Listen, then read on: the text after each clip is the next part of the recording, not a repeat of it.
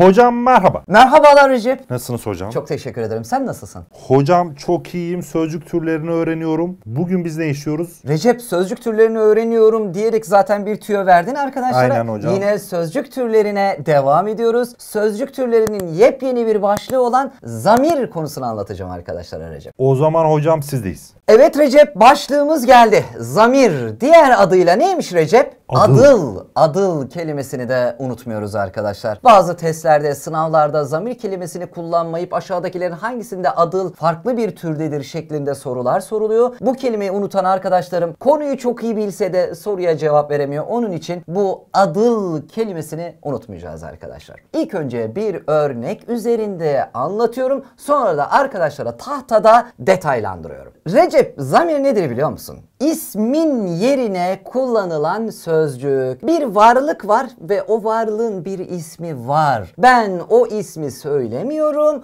Onun yerine geçici olarak başka bir sözcük kullanıyorum. Heh, tam Diyorum ki- küsken yapılır hocam bu işte. Aynen. Karşıda bir kitap var Recep. Kitabı bana verir misin demiyorum. Onu Kitap bana. sözcüğünün yerine şunu bana verir misin diyorum. Kitap isminin yerine geçici olarak kullandığım, bir defaya mahsus kullandığım bir kelime öyle değil mi Recep? Evet hocam. İşte oradaki şu kelimesi ismin yerine kullanılan, ismin yerini geçici olarak tutan bir sözcüktür. Biz ona zamir diyoruz Recep.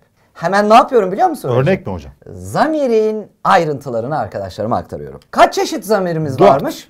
Dört çeşit zamirimiz var. Çeşit çeşit hocam. Kişi zamiri, işaret zamiri, belgisiz zamir ve Soru zamiri. soru zamiri. Evet dört çeşit zamirimiz var. Birincisiyle başlıyorum. Kişi zamiri. İsminden de anlaşılıyor öyle değil mi? Kişi zamiri yani sadece Kişinin yerine insan isimlerinin yerine kullanılan zamirlerdir. Sadece insan isimlerinin yerine kullanılıyor.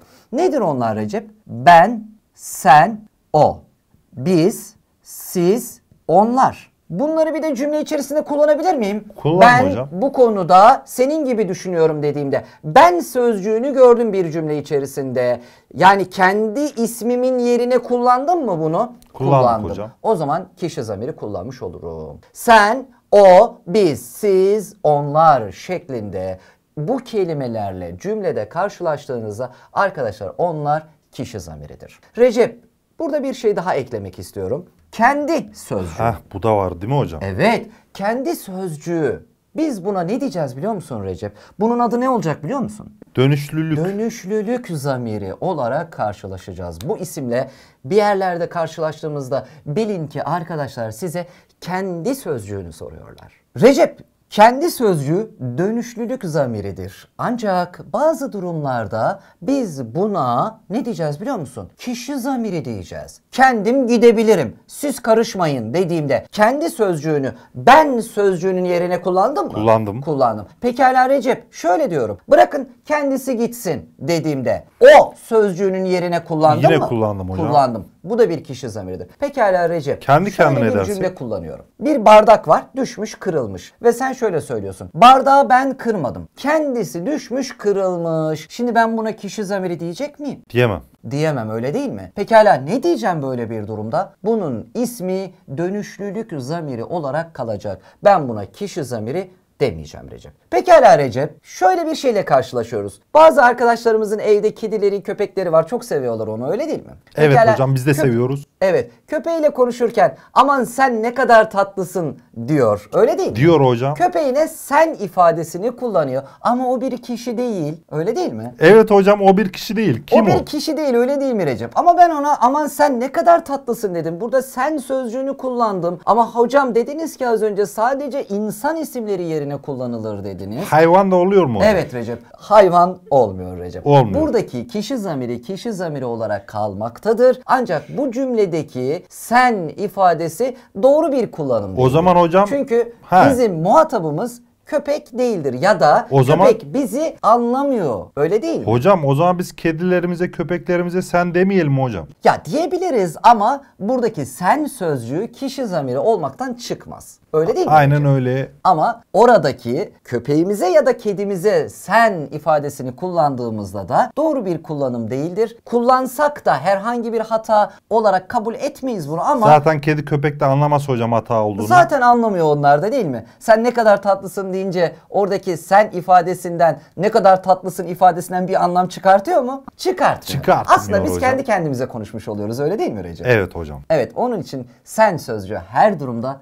kişi zamiridir Recep. Evet Recep ne yapıyorum? İkinci başlığıma geçiyorum. İşaret zamirleri. Evet Recep kaç tane sözcükmüş? Çok Altı tane. tane sözcüğüm var. Bu, şu, o, bunlar, şunlar, onlar. İşte bu sözcükler işaret zamiridir. İşaret yoluyla ismin yerini tutan sözcüklerdir. Hocam ne demek istediniz? Şunu demek istedim arkadaşlar. Varlığı işaret ederek yerine kullanırım. Bunu bana verir misin dediğimde aslında orada bu diye kastettiğim şey ya bir kalemdir ya bir telefondur ya bir kitaptır. Aslında onun bir ismi vardır ama ben onu işaret ederek ismini değil de bu kelimesini kullanmış oluyorum. İşte onun için biz bu sözcüklere işaret zamiri diyeceğiz. Pekala hocam İşaret zamirinde sınırlama var mı? Hani kişi zamirinde sınırlama yaptınız. Yalnızca insanlar için kullanılır dediniz. İşaret zamirinde böyle Yok mu bir hocam? kısıtlama, sınırlama yoktur Çok arkadaşlar.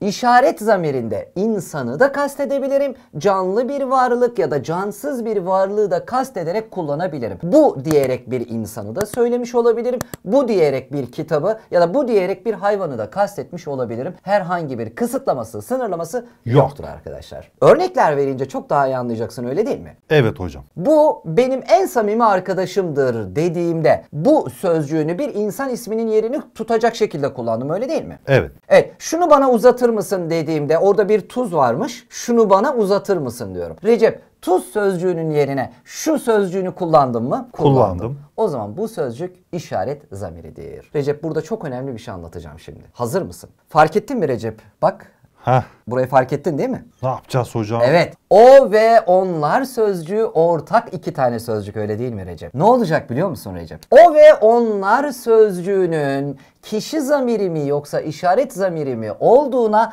ancak cümlede karar verebilirim. Yani- Cümle yoksa anlayamam. Evet bana bir şey sormak istiyorsun. Sor İşte bakalım. hocam tam da bunu soracaktım nasıl anlayacağız diye anlayamam. Ha, cümle yoksa anlayamayız. Evet. Pekala şöyle bir cümle kuruyorum. O bugün gelmemiş. Ne anladın Recep? Kişi. Kişi. O yırtılmış. O zaman O işaret zaman ne hocam. anlıyorsun Recep? İşaret hocam. İşaret zamiri öyle değil mi? Aynen cümlede anlaşılabilir ifadesi bu demektir Recep. Süper. Recep anlamadığın bir şey var mı? Yok hocam. Yok. O ve onlar sözcüğü cümle olmadan anlaşılmaz. İşaret mi, kişi mi ancak cümle içerisinde tespit edebiliyorum arkadaşlar. Peki işaret zamiri bunlar. Bunlar dışında hiçbir şekilde işaret zamiri olmaz mı? Öteki, beriki, öylesi, böylesi, şöylesi sözcükleri de var. Hocam bunlar işaret zamiri değil midir? Evet Recep aslında benim 6 tane işaret zamirim var. Bu kelimelerde de işaret anlamı vardır. Cümle içerisinde işaret zamiri olarak karşıma çıkabilir. Ötekini getir dediğimde işaret etmiyor muyum Recep? Ediyorum hocam. Evet o zaman bu da bir işaret zamiridir. Böylesini görmedim dediğimde böylesini görmedim işaret ediyor muyum Recep? Ediyorum. Ediyorum. O zaman bu da bir işaret zamiridir arkadaşlar. Recep anlamadığın bir şey var mı? Hocam belgisiz. Evet belgisize geldik. Bir önceki dersten biliyorsun belgisiz kelimesi ne demek? Belli değil hocam. Neyi belli değil Recep? Miktarı. Miktarı ve sayısı belli olmayan demektir. Belgisiz kelimesinin anlamı budur arkadaşlar. E o zaman ne yapacağız? Belgisiz zamir yani ne kadar varlığın ya da kaç tane varlığın yerini tuttuğu belli olmadan yine de isimlerin yerini tutan zamirlere belgisiz zamir diyorum. Rastgele birkaç tane örnek yazdım. Bazısı, birkaçı, birçoğu, azı, çoğu, tümü, tamamı, başkası şeklinde yazdığım kelimeler var. Bu kelimeleri cümle içerisinde kullanalım ve kaç tane varlığın yerini tuttuğu belli olmayacak şekilde arkadaşlarımızın karşısına çıkartalım mı? Çıkartalım Hadi hocam. bakalım. Bazısını beğenmedim dediğimde bazısını derken kaç tanesini beğenmediğim ne kadarını beğenmediğim belli değil değil mi Recep? Değil hocam. Ama kesinlikle isminde yerini tutuyor mu? Tutuyor. O zaman bu bir belgisiz zamirdir. Birkaçını tanıyorum dediğimde kaçını tanıdığım belli mi sayı olarak? Tam belli değil hocam. Ama birkaçını derken de birilerini kastederek ismin yerini tutacak şekilde kullandım mı? Kullandım. İşte bu bir belgisiz zamirdir. Birçoğunu getirmemişsin. Azını ben yedim. Çoğunu sana bıraktım. Tümünü yanında taşıyordu. Tamamını sana bıraktım. Başkasını istemem şeklinde örnekler kullandığımda da bunlar belgisiz zamir olarak karşıma çıkmış oluyor arkadaşlar. Recep belgisiz zamirin ne olduğunu, neyi kastettiğini anladın mı? Anladığım gibi hocam. O zaman ne yapıyorum biliyor musun Recep? Soru zamirine geçiyorum. Recep bayağı bir kelime yazdım fark ettin mi? Fark Kim, ettim kimi, hocam. kime, kimde, kimden, ne, neyi, neye, neyde, neyden, nereye, nerede, nereden, hangisi, ne kadarı, kaçı şeklinde. Hatta şuna da bir tane örnek vereyim mi Recep? Kaçı Verin hocam. dediğimde. Recep işte bu kelimeler soru soran kelimelerdir. Ama tek başına soru sorması yetmiyor. Ne yapıyorum? Cümle içerisinde de kullanıyorum ve gerçekten soru zamiri olmuş mu diye bakıyorum. Az önce beni kim aradı dediğimde kim sözcüğünü kullandım. Bu kim sözcüğüyle soru sordum mu Recep? Sordum. Pekala kim aradı derken de bir insan isminin yerini tutacak şekilde kullandım mı? Kullandım. Kullandım. İşte buradaki kim sözcüğü soru zamiridir arkadaşlar. Kimi arıyorsun dediğimde yine soru soruyor muyum? Soruyorum. Pekala insan isminin yerini de kullandığım apaçık ortada mı? Çok belli hocam. Ortada. O zaman bu bir soru zamiridir. Recep nereden geliyorsun dedim. Soru sordum mu? Sordunuz. Nereden derken de bir yer adının anlamını taşıyor mu? Taşıyor. O zaman bu bir soru zamiridir. Ya da kaçını istiyorsun dediğimde soru soruyorum öyle değil mi? Soruyorum. Pe- Kaçını istiyorsun dediğimde de bir varlık adının yerini tuttuğu da çok belli değil mi Recep? Çok belli O cümlenin, o kelimenin içerisinde varlık var öyle değil mi? Var hocam. Var. İşte biz buna soru zamiri diyoruz Recep. Evet Recep, zamirler başlığı altında dört tane zamir türü anlattım. Bana burada anlamadığın, sormak istediğin bir şey var mı? Onu söyle. Hocam var sorum bitirdik mi? Evet Recep, zamir konusunu tamamladım. Arkadaşlarıma zamir konusunu detaylı bir şekilde anlattım. Sen de beni dikkatli dinledin. Çok teşekkür ederim Recep. Hocam ben de arkadaşlara teşekkür ediyorum. Çünkü şu an hocam bu videomuzu beğeniyorlar. Biz çünkü bunu gördükçe mutlu oluyoruz. Arkadaşlarımıza bizi desteklemeye devam etsinler. Hocam o zaman bir sonraki videoda görüşmek üzere. Hoşça kalın. Hoşça kalın arkadaşlar.